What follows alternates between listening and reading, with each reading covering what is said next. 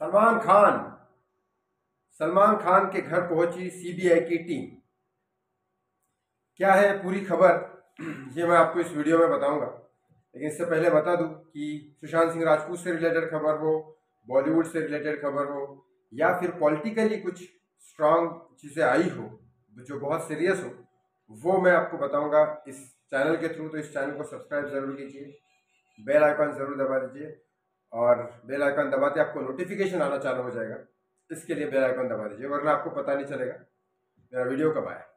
सो so, कुछ दिनों में आपको शॉकिंग शॉकिंग खबरें मिलेगी अभी चौदह जून के बाद।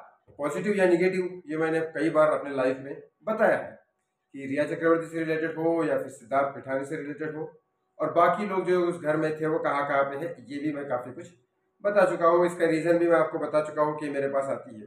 क्योंकि Sushant Singh Rajput was from Bollywood I am from Bollywood Sushant Singh Rajput के हाँ साथ जो भी हुआ मुंबई में हुआ और मैं मुंबई से हुआ सुशांत सिंह राजपूत के करीबी जितने भी लोग थे मैं उनको जानता था क्योंकि मैं सुशांत का दोस्त हूँ। और मैं मुंबई में रहता हूँ।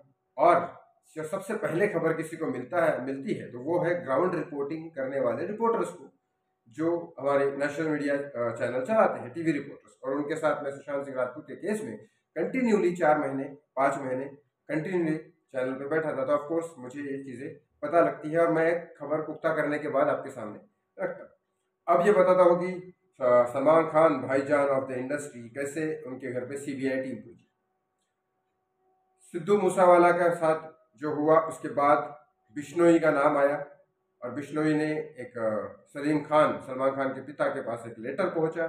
गार्डन में जो वहाँ जॉगिंग करने जाते थे रेगुलरली उनके पास वो लेटर पहुँचा उसमें बिश्नोई का शॉर्ट फॉर्म लिखा था। यल बी और उनके पार्टनर का। तो यल बी मतलब लॉरेंस बिश्नोई समझा जाता है और उनके पार्टनर का भी शॉर्ट फॉर्म ही था तो इसके लिए वो समझा जाता है कि ये दोनों ही है। मैक्सिमम नाइन्टी परसेंट चांसेस थे, क्योंकि उस टाइम उसने ट्रेड भी दिया था कि ट्विटर विटर पे जो भी है। हालाँकि वो बिश्नोई जेल में है, लेकिन इसके बारे में जब मुंबई पुलिस ने कहा कि सिक्योरिटी ले लो पता नहीं, मुंबई पुलिस जब किसी नॉर्मल इंसान के लिए, नहीं तो जो सपोर्ट नहीं होता है, कोई बाहर के होते हैं, पता नहीं क्या है, जो सरकार शायद उनको सपोर्ट नहीं करती या कई बाहर के लोग जो आते हैं, उनको शायद बोलने के बाद भी सिक्योरिटी नहीं मिलती। जैसे सुशांत को बोलने के बाद भी सिक्योरिटी नहीं मिली और यहाँ सलमान ने कोई सिक्योरिटी नहीं मांगी थी, लेकिन मुंबई पुलिस ने अपनी तरफ़ से दी और जैसे वो अबू धाबी से आते हैं एयरपोर्ट पे ही उनको प्रॉपर सिक्योरिटी मिली। ये होता है बॉलीवुड में या हमारी दुनिया में होता है, यहाँ पे इंडिया में क्या हर जगह होता है पॉलिटिक्स हर जगह चलती है। तो ये हुआ है वहाँ पे। लेकिन सलमान को जब पूछा गया एक इवेंट में कि ये लॉरेंस बिश्नोई को जानते हो कि क्या हो, बोले, मैं तो कभी इसमें मिला नहीं हूँ लॉरेंस बिश्नोई को, ना ही मैं इनको जानता हूँ। हिरन केस के राजस्थान में जो हिरन केस हुआ था, उस टाइम हम साथ साथ फ़िल्म की शूटिंग चल रही थी और उस टाइम हिरन केस होने के बाद जेल में प्रॉपरली बैठाया गया था सलमान को। उस टाइम के कुछ पिक्चर्स वायरल हुए हैं। लॉरेंस बिश्नोई का नाम वगैरह आया था। सामने सामने तो नहीं पड़े शायद, लेकिन लॉरेंस बिश्नोई का नाम आया था। तो उस टाइम सलमान ने यह भी कहा अभी रिपोर्ट करते हुए हाँ मैंने उस टाइम नाम सुना था, लेकिन मैं पर्टिकुलरली उसने नहीं जानता हूँ। मेरी किसी के साथ फ़िलहाल सलमान के स्टेटमेंट में बता रहा हूँ डायरेक्टली तो अभी फ़िलहाल मेरे किसी के साथ ना कोई दुश्मनी है, ना मेरा किसी के साथ झगड़ा हुआ है, ना मेरे किसी के साथ कोई वाद या फिर कोई ऐसी बातें हुई है जो झगड़े वाली हो। ऐसा कुछ भी मेरे साथ अभी फ़िलहाल रिसेंट में नहीं है। तो सलमान ने क्लियर किया, लेकिन फिर भी लॉरेंस बिश्नोई की तरफ़ से ये जो भी स्टेटमेंट आया, उसके बाद लॉरेंस बिश्नोई को भी पूछताछ की गई पुलिस के द्वारा। जब उसने भी कहा कि नहीं, मैंने तो नहीं दिया थ्रेट तब ये कहीं ना कहीं ऐसा लगा कि या तो पीआर स्ट्रेटजी है कि, अब किसकी तरफ़ से है ये पता नहीं, लेकिन लॉरेंस बिश्नोई का नाम बहुत डाउन है, कोई ऐसा बहुत बड़ा फ़ेमस नहीं है, लेकिन मूसा वाले के बाद एक होता है कि या तो मीडिया अपनी तरफ़ से डालती है कुछ न्यूज़ कि हाईलाइट क्रिएट करने के लिए, या तो वाकई में थ्रेड दिया गया हो और उसको छुपाने के लिए मना किया गया हो, ये भी होता है।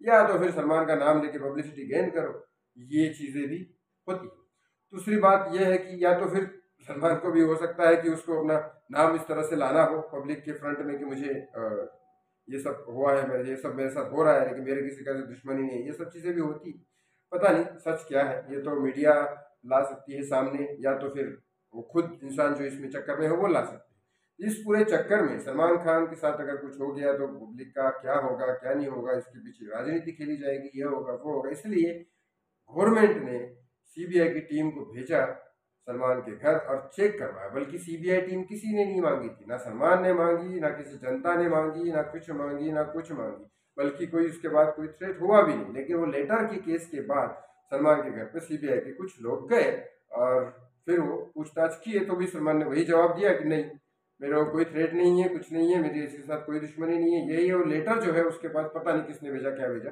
सीसीटीवी फुटेज वगैरह चेक किए जा रहे हैं मुंबई पुलिस के थ्रू लेकिन वहाँ से भी कुछ ऐसा निकला नहीं कि किसने भेजा, क्या भेजा, बल्कि गार्डन में सीसीटीवी कैमरे लगे हुए थे, लेकिन फिर भी नहीं पता लगा। क्यों पता नहीं सीसीटीवी क्या काम करते हैं मुझे मुंबई के अभी तक मुझे समझ ही नहीं आया। लेकिन उसके बाद सीबीआई भेजी गई है।